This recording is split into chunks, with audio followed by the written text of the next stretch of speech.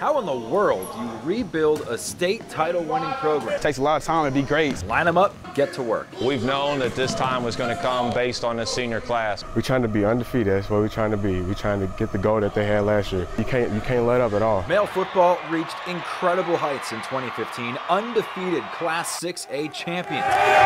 But they graduated 20 of 22 starters from that team. The defense has two starters back. The offense has zero, so the defense is going to be stout, right?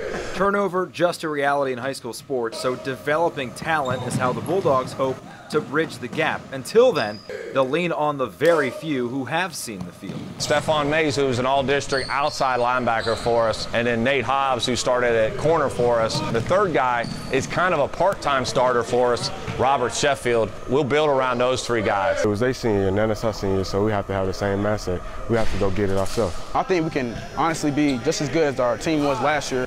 Expectations are the same every year, nothing changes. Head coach Chris Wolfe finds parallels between his team and a college football powerhouse known for winning.